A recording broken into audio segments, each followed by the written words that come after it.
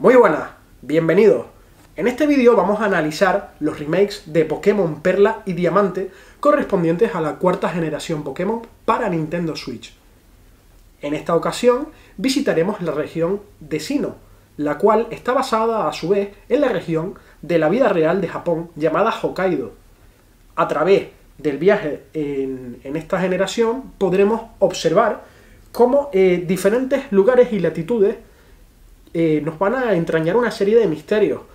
Encontramos eh, un monte corona que divide la región en dos partes, también lugares como la vieja mansión, la zona sobrevivir. Encontramos que eh, en estos juegos muchas personas coinciden en que es la, la, generación mejor planteada, debido a que se aborda de forma más profunda sobre la mitología Pokémon y que eh, encarna a nuestros protagonistas de la aventura, eh, eh, los Pokémon legendarios Palkia y Dialga, que son las divinidades del tiempo y del espacio.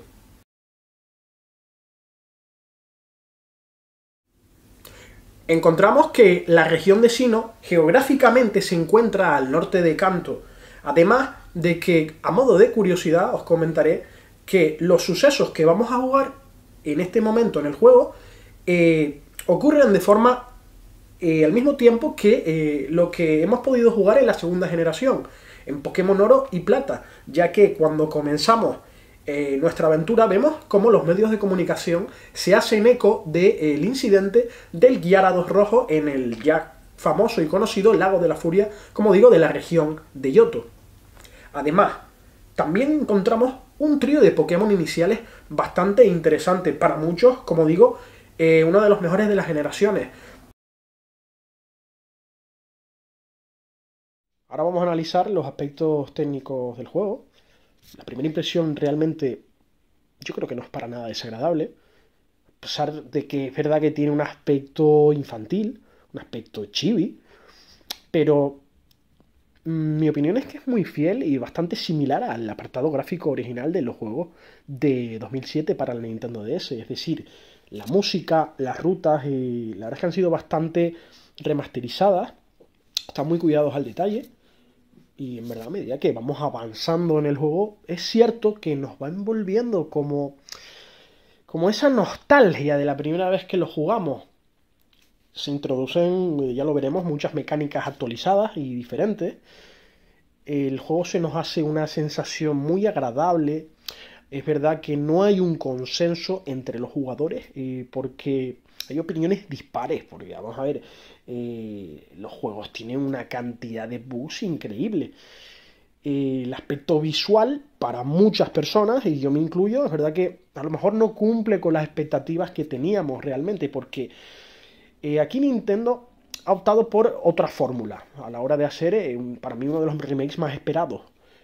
¿Qué pasa? Que Nintendo bueno, le ha encargado el, desarrollo de, estos juegos a la empresa ILSA, que es una empresa externa a Nintendo. Eso sí, ha estado pues bajo la supervisión de, Game Freak. El resultado ha sido los, remakes que, hemos podido disfrutar o no, dependiendo si los habéis podido jugar. Y la verdad es que yo aquí en este sentido me tengo que pronunciar eh, los remakes de... Eh, empecemos comparándolo con, Rojo Fuego y Verde Hoja. Rojo Fuego y Verde Hoja eh, tenían gráficos de la tercera generación. situémonos Ruiz Zafiro Esmeralda los siguientes remakes que eran de la región de Yoto, Heart Gold y Soul Silver, eran gráficos en línea con la generación actual de ese momento, que era Pokémon Platino, prácticamente. Luego Rubio Omega y Zafiro Alpha iban eh, en línea con los gráficos de Pokémon X y Pokémon Y. Entonces, en, este sentido, pues las personas que eh, esperabais unos gráficos de Pokémon Espada y Pokémon Escudo, pues la verdad es que la sensación es un poco agridulce. Pero bueno, realmente eh, vamos a hablar de lo positivo porque encontramos una serie de mejoras, empezando por el tema de las máquinas ocultas, las famosas MO. Y ahora se han convertido en máquinas técnicas, pero estas máquinas ocultas, como digo, tienen su propia función en el Pokéreloj. El Pokéreloj que se, envuelve, se vuelve indispensable a lo largo de la aventura.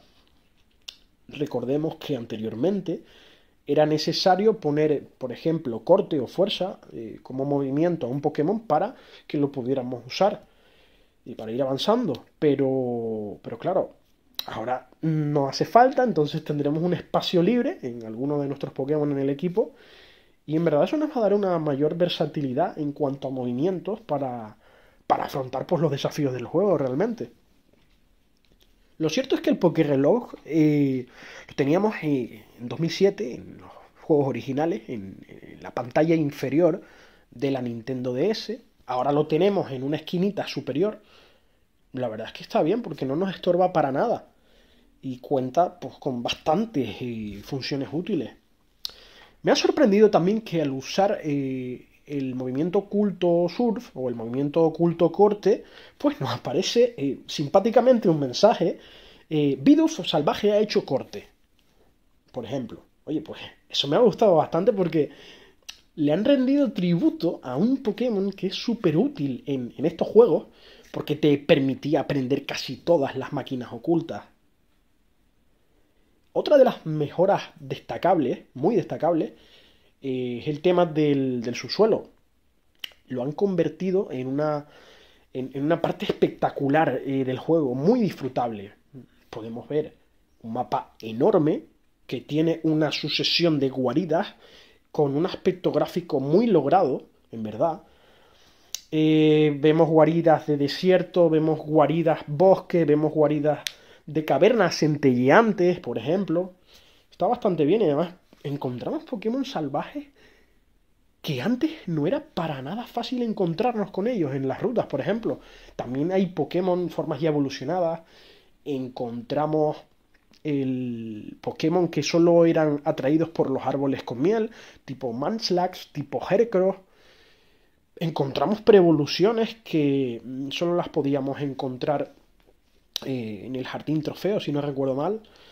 Además, los Pokémon salvajes, podemos leviar mucho a los Pokémon ahí, en la zona del subsuelo, en estas guaridas, porque los Pokémon salvajes que nos encontramos van a estar en una media del, nivel de nuestro equipo. Además de que en nuestro equipo eh, está activado el repartir experiencia automático. Es decir, podemos afrontar eh, tanto los líderes de gimnasio como el alto mando más adelante eh, con un nivel bastante aceptable entrenando y leveando en el subsuelo. Por otra parte, hablando de estas guaridas, eh, me ha llamado mucho la atención también que eh, encontramos objetos, y objetos muy, muy, muy golosos realmente, porque encontramos pepitas, encontramos caramelos raros, encontramos máquinas técnicas bastante poderosas y útiles. El, kit de exploración, bueno, el kit de exploración eh, es verdad que lo típico, objetos comunes, gemas, trozo de estrella, revivires, eh, pero ahora podemos encontrar pues unas cajas que esconden unas estatuas de Pokémon para adornar nuestra base secreta. Eh, también encontramos eh, estatuas shiny para adornar nuestra, nuestra base. Y más adelante nos iremos encontrando con yo creo que es el objeto del subsuelo, aparte de los fósiles que, que yo creo que es el más codiciado, son unas esquirlas que tienen la forma de los juegos juraría que tenían como una forma de juegos de Game Boy Advance, de estilo así, como cartuchos. Y estas esquirlas realmente son las que nos van a dar acceso más adelante a Pokémon legendarios pues de otras generaciones después de la Liga Pokémon. Estos Pokémon los vamos a encontrar en el Parque Hansa, que es la similitud de lo que era antiguamente el Parque Combi, donde podíamos trasladar a nuestros Pokémon de, de ediciones anteriores y generaciones anteriores al Pokémon Perla y Diamante y platino. Así que yo creo que en este sentido está bastante bien. Esto en cuanto a lo positivo, pero en cuanto a lo negativo, y, oigan, hay una barbaridad de bugs en el juego. Es verdad que a medida que han habido alguna actualización han podido solventarlo, pero el que más me ha llamado la atención ha sido el de el, el gimnasio de Ciudad Punta Neva. Bueno, es un puzzle en el que tú vas avanzando a través de de las baldosas de hielo, puedes avanzar de forma horizontal, puedes avanzar de forma vertical, y la gracia del puzzle, que es complicado, es irte quitando las bolas de hielo de en medio para dejar el camino libre, para desafiar a Iberna, que es la líder de gimnasio de la séptima medalla. Y claro, encontramos que podemos avanzar eh, de forma diagonal a través de las baldosas. Mm, entonces, es un sinsentido porque... ¿Y, el puzzle qué es? Entonces, no tiene gracia. No tiene gracia que, que nos pasen estas cosas y, y además que hasta te puedes dar cuenta de forma casual y, y vamos, pero bueno, que realmente hay que tomárselo, hay que tomárselo bien, es una curiosidad bastante grande y, tenemos que disfrutar realmente de estos juegos. Bueno, hemos llegado al final. Espero que lo hayáis disfrutado. Muchas gracias. Darle like, suscribiros y nos vemos en el próximo vídeo de Silef Master. Un saludo.